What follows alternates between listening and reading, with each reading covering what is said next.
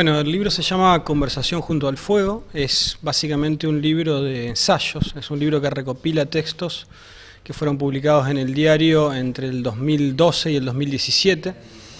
Eh, en ese tiempo teníamos con Luciano Andreichuk y con Natalia Pandolfo una sección de cultura en las páginas centrales de los domingos del diario.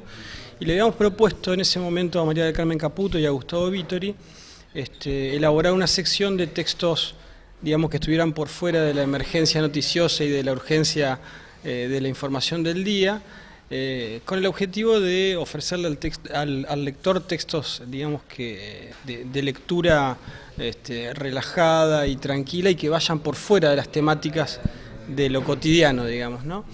Eh, yo durante ese tiempo publiqué, bueno, una buena cantidad de textos, que, cuyo número no recuerdo en particular, pero lo que hice el año pasado fue el mismo procedimiento que utilicé con, con Miscelánea Breve, que fue mi, primer libro este, completo, ¿no? publicado por UNL en el 2014, que es básicamente eh, agrupar, este, escoger primero y después agrupar los textos por, por temas o por naturalezas. Eh, y escribí un prólogo y lo presenté a la, a la, a la universidad.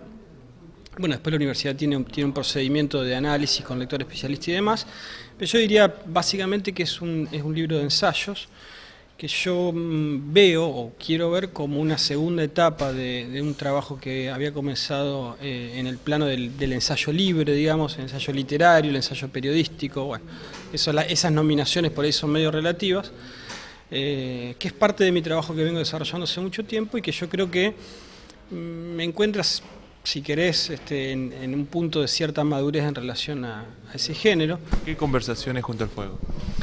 Bueno, esa es una, es una frase que me gusta mucho, es una idea que proviene originalmente de un autor que se llama Charles Lamb, que tiene un texto que se llama Mejor que el cielo, en el siglo XIX, en donde él va enumerando una serie de cuestiones vinculadas a, las cosas bellas de la vida y al temor de perderlas, ¿no? Está hablando de la finitud de la vida, ¿no? Entonces en esa enumeración él habla de la carne asada, de los atardeceres, del viento y qué sé yo, y de la conversación junto al fuego, dice en un momento que se la perdería con, con la muerte. ¿no? Y entonces esa idea es tomada muchos años después, en el año 69, por Adolfo Bioy Casares. Bioy en ese momento este, escribe un estudio preliminar a un libro que se llama Ensayistas ingleses, donde está justamente Charles Lamb.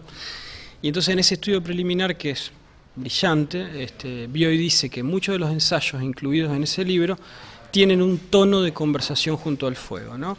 Eh, es esta idea del normal fluir del pensamiento, dice Bioy.